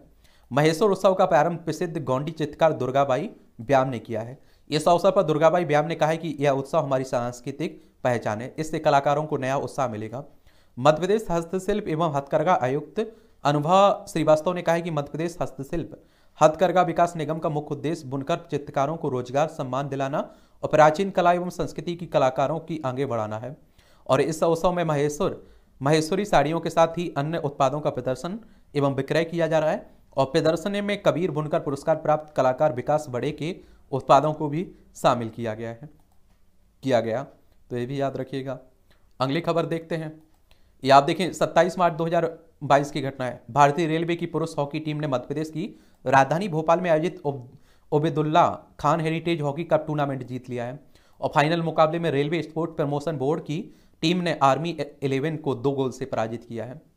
और यह प्रतिष्ठित हॉकी टूर्नामेंट भोपाल के मेजर ध्यानचंद स्टेडियम में 21 मार्च से 27 मार्च 2022 तक खेला गया, जिसमें एक दर्जन टीमों ने भाग लिया था। और 1931 में आप देखेंगे अब्दुल्ला गोल्ड कप के रूप में शुरू हुआ था यह प्रतिष्ठित टूर्नामेंट। कई दशकों से चल रहा है। अपनी खेल यात्रा के दौरान इसने कई अंतर्राष्ट्रीय खिलाड़ियों को सैजन भी किया। यह प्रतियोगिता आखिरी बार 2016 में खेली गई थी और इस साल छः वर्ष के अंतराल के बाद इसे फिर आयोजित किया गया और पिछली बार 2016 में यह टूर्नामेंट बीपीसीएल ने जीता था। रेलवे की टीम उपविजेता रही थी। और man of the final match railway के जोगिंदर बने। वहीं सर्वश्रेष्ठ डिफेंडर जस जीत बने और सर्वश्रेष्ठ मिडफील्डर नियाज नियाज रहीम बने। रेलवे टीम के अर्जुन को मैन ऑफ़ द टूर्नामेंट चुना गया है। और याद रहे, भारतीय रेलवे ने लगभग तीन हज़ार सक्रिय पुरुष और महिला खिलाड़ी हैं। रेलवे के पास आरसीएफ, कपूरथला में समर्पित हॉकी अकादमिक सहित देश भर में एक विशाल खेल बुनियादी ढांचा भी है। 2020 में टोक्यो ओलंपिक में चौथा स्थान हासिल करने वाली भारतीय महिला हॉकी टीम की कुल 16 खिलाड़ियों में से 12 खिलाड़ियाँ रेलवे से चुनी गई थी। ओलंपिक में भारतीय पुरुष हॉकी टीम में भी भारतीय रेलवे के दो खिलाड़ी थे। और याद रहे 2021-22 के दौरान आर एस पी बी पुरुष हॉकी टीम ने राष्ट्रीय स्तर के पाँच टूर्नामेंट में भाग लिया। पाँच टूर्नामेंट का फाइनल मैच भी खेला इन्होंने। तो ये भी आपको देखने को मिलेगा। अगली खबर है आपकी। हाल ही में बुरहानपुर जिला जल जीवन मिशन के तहत शत प्रतिशत ग्रामीण परिवारों को उनके घर में नल कनेक्शन के ज़रिए जल उपलब्ध कराने वाला प्रदेश का पहला जिला बना बुरहानपुर। और जल जीवन मिशन में प्रदेश की समुची ग्रामीण आबादी को नल कलेक्शन से, कनेक्शन से जल उपलब्ध करवाने के लिए हर ज़िले में एकल अथवा समूह जल प्रदाय योजनाओं के कार्य जारी हैं। और लगभग पाँच लाख की ग्रामीण आबादी जनसंख्या वाली बुरहानपुर ज़िले में जल जीवन मिशन में आप देखेंगे कि एक सौ उनतीस करोड़ रुपए से अधिक लागत की जल प्रदाय योजनाओं से प्रत्येक ग्रामीण परिवारों तक अब जल से नल से जल पहुँच रहा है। और ज़िले के दोनों बुरहानपुर खकनार विकासखंड में एक सौ सड़सठ ग्राम पंचायतें और तीन सौ चौवन, तीन, दो सौ चौवन ग्राम है। जल जीवन मिशन में ज़िले के सभी जिलों, सभी गाँवों के सभी परिवार घर तक जल कलेक्शन, नल कलेक्शन से जल कनेक्शन से जल की उपलब्धता सुनिश्चित की जा चुकी है। और ज़िले के ग्रामीण क्षेत्रों में संचालित सभी आंगनबाड़ी केंद्रों और शालाओं में भी प्लेटफॉर्म बनाकर उसमें नल कनेक्शन से जल उपलब्ध करवाने की व्यवस्था की गई है। और मिशन की गाइडलाइन के अनुसार ज़िले के प्रत्येक ग्राम में ग्राम जल एवं स्वच्छता समिति गठित की गई है। और ग्रामीण परिवारों को मिल रहे जल की गुणवत्ता की समुचित जाँच के लिए 541 महिलाओं को एप टीके से जल परीक्षण का प्रशिक्षण दिया गया है।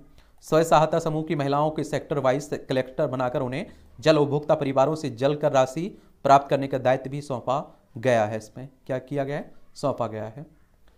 अगली खबर है, हाल ही में कृषि, केंद्रीय कृषि अभियांत्रिकी संस्थान भोपाल के विज्ञानियों ने सौर ऊर्जा चलित ई प्राइम मूवर यंत्र विकसित किया है। यह सौर ऊर्जा से चलित यंत्र है, जिसमें किसान सिर्फ़ एक घंटे में सवा एकड़ ज़मीन में दबा कर छिड़काव कर सकेंगे। इतना ही नहीं, ज़मीन की जुताई निराई पाँच घंटे से कम समय में इस यंत्र की सहायता से की जा सकेगी, जिसमें ईंधन खर्च नहीं होगा। और इस यंत्र की बैटरी एक बार चार्ज होने के बाद तीन घंटे तक चलेगी और सौर ऊर्जा से चार्ज हुई बैटरी से किसान घर की बिजली भी जला सकेंगे। इस यंत्र का उपयोग अनाज को लाने, ले जाने में भी होगा। और इसके अतिरिक्त आप देखें, संस्थान के विज्ञानियों ने सीएनजी इंजन भी बनाया जिसे ट्रैक्टर में लगवाने के बाद खेती की लागत भी कम की जा सकती है। तो किसानों के लिए एक पहल की गई है। अगली खबर में आप देखेंगे तीस मार्च 2022 की है। इसमें Madhya Pradesh power generating company limited एवं राष्ट्रीय विद्युत प्रशिक्षण प्रतिष्ठान, national power training institute, N की मध्य पावर जनरेटिंग कंपनी के कार्मिकों के प्रशिक्षण हेतु एक दीर्घकालिक प्रशिक्षण अनुबंध हस्ताक्षरित किया गया है। और इस अनुबंध के तहत आप देखें नेशनल पावर ट्रेनिंग इंस्टीट्यूट द्वारा Madhya Pradesh power generating company के कर्मिक कर्मिकों को विभिन्न तकनीकी एवं प्रबंधकीय विषयों पर प्रशिक्षण दिया जाएगा। और इसमें आप देखें, Madhya Pradesh power generating company के प्रबंध संचालक मंजीत सिंह ने कहा है कि कंपनी के इस प्रयास से कार्मिक कम व्यय पर अधिक गुणवत्तापूर्ण प्रशिक्षण प्राप्त कर सकेंगे। और अनुबंध के अनुसार ट्रेनिंग इंस्टीट्यूट के देश में स्थित दस संस्थानों द्वारा ऑनलाइन और ऑफलाइन प्रशिक्षण दिया जाएगा। तो इस तरह से आप देखिए, मार्च महीने में जो भी घटनाएँ घटी, उनका एक ओवरव्यू हम लोगों ने ले लिया है। अगली क्लास में हम लोग अप्रैल 2022 में जो घटनाएँ घटी थी, उनके, उनका भी एक ओवरव्यू ले लेंगे। और इन्हें रिवीजन के पॉइंट व्यू से आप लोग देख सकते हैं, ये महत्वपूर्ण तथ्य इनमें शामिल किए गए हैं। ठीक है? आपका कोई सवाल हो मेरे लिए, सुझाव हो तो आप लोग नीचे बता सकते हैं।